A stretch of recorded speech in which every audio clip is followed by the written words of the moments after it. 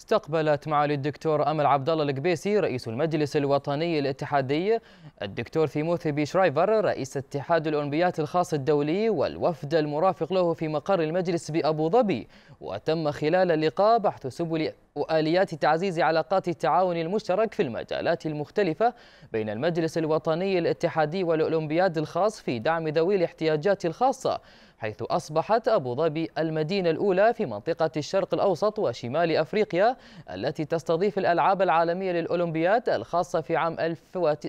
في عام 2019 وهو ما يؤكد ثقة المجتمع الدولي بقدرة دولة الإمارات على استضافة الفعاليات الكبرى لما تمتلكه من بنية تحتية متطورة ومقومات كثيرة تخدم هذه الفئة.